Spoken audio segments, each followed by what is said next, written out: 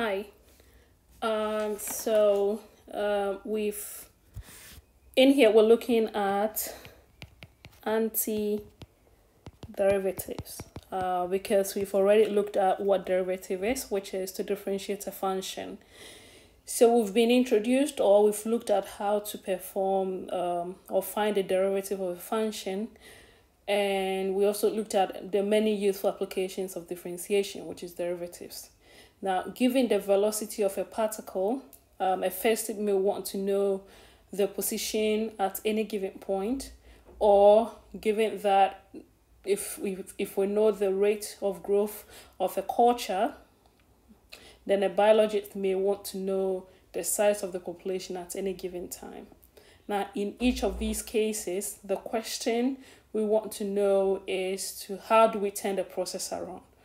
And that is to find a function, all right? So we want to find a function capital F whose derivative is given by f of x. All right, so given that if I find capital F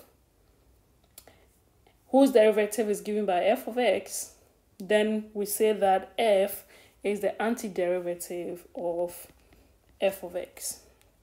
All right, and to find such a function, we define what is known as antiderivative.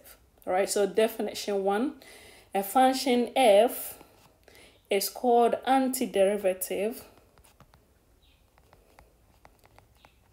of f, small f, on an interval i if f prime of x is equal to f of x for all x in that interval i. Okay, so if we can find a function f whose derivative is given by f of x, then we say that f is the antiderivative of f of x. All right, so example, if we have f of x giving us 3s squared, if we keep the power rule in mind, we can deduce the formula whose derivative is given by 3s squared which is if I assume that f of x is equal to s cubed, then if I differentiate f of x, this will give me 3s squared. And this is the same as f of x. And so since f prime of x is equal to f of x, we say that f of x, which is equal to s cubed, is an antiderivative of f of x, which is equal to 3x squared. Uh, so, yeah, f of x equal to x cubed is an antiderivative of f of x. Now, since the derivative of a constant is equal to 0, so given any constant at all c, the derivative respect to x of c is equal to 0, and keeping the sum and difference rule in mind, if we assume that f of x, or if we add the constant c to f of x, that gives us x cubed plus c. If we differentiate f of x, this will give us 3x squared plus 0, which is equal to 3x squared, which is the same as f of x. So given any, um, now that we know given any um, constant at all, if you differentiate it, that gives us 0 it means that the general form of the antiderivative of f of x, which is equal to 3x squared, is given by a capital F of x, which is x cubed plus c. All right, and so um, possible cases, possible cases for f of x are, we can assume any value for c, f of x is equal to x cubed plus 3 that's the possible case for the antiderivative of f of x, small f of x, which is equal to 3x squared. f of x could also be equal to um, x cubed minus square root of 7. Any uh, function of the form x cubed plus c, where c is some arbitrary constant, is the antiderivative of 3x squared. All right, so that brings us to an important theorem which says that if capital F is an antiderivative of F, All right, that means if f prime of x is equal to f of x on some interval i, then the, the most general antiderivative of f on i is given by f of x plus c, where c is some arbitrary constant. So let's look at some examples. Um, A, we want to find the antiderivative of the following functions. f of x is equal to x to the power 4.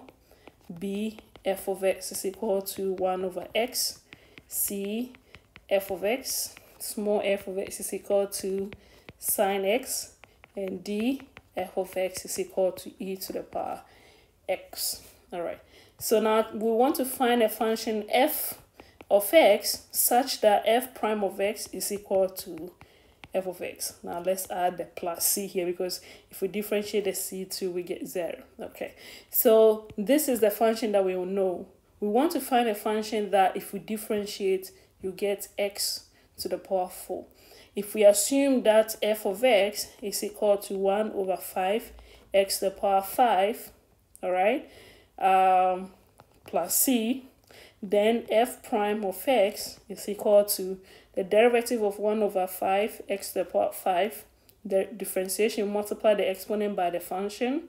So we have 5 times 1 over 5 x to the power, subtract 1 from the power, 4 plus the derivative of the constant, which is 0. So this is equal to x to the power 4 plus 0, which is equal to x to the power 4. And so since f prime of x is equal to f of x, it implies that the antiderivative of the function f of x, which is equal to x to the power 4, is given by 1 over 5x to the power 5 plus c, which is f of x plus c here. All right, then the second one, which is given by f of x is equal to 1 over x. Now, when we're doing the differentiation, we realize that when we differentiate um, ln x, okay, we get 1 over x. So we're going to assume that capital F of x is equal to the ln of the absolute value of x. So if x is greater than 0, that is if x is a positive number, then f of x is equal to the ln of x. Okay, so let's try and differentiate this function. If we find f prime of x, this is equal to 1 over x.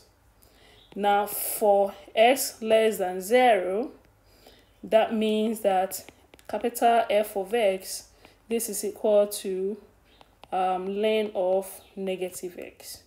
So if we differentiate capital F of x, this will give us negative of negative 1 over x, which is equal to 1 over x. When we differentiated when the um, independent variable x was positive, we are getting f of x. Here too, we are getting f of x. So this implies that the antiderivative of f of x, which is equal to 1 over x, is given by capital F of x, which is equal to ln of the absolute value of x plus c. Then the third one, we have um, f of x is equal to sine x. Okay, so uh, we know that if we differentiate cos, cos x, we get negative sine x, all right? So um, we assume that f of x is equal to cos of x. And so f prime of x, this gives us negative sine of x. But the function that we've been given is positive sine x. That means that the function that we need to differentiate to get positive sine x must be negative cos of x. So f of x, assuming is equal to negative cos of x, then f prime of x is equal to the negative of negative sine x, which is equal to sine x, and this is the same as f of x. So since f prime of x is equal to f of x, it implies that negative cos x plus c is the antiderivative of f of x, which is equal to um, sine x. Um, then we had the last one, which is f of x is equal to e to the power x. All right, we know that if you differentiate the exponential function e to the power x, we get e to the power x. So we assume that capital F of x is equal to e to the power x. Then f prime of x, this is equal to, if you differentiate this, we'll get e to the power x, which is the same as f of x. So since f prime of x is equal to f of x, it implies that um, the antiderivative of f of x is e to the power x plus c. All right, now try this out. Find the antiderivative of f of x, which is given by cos of x.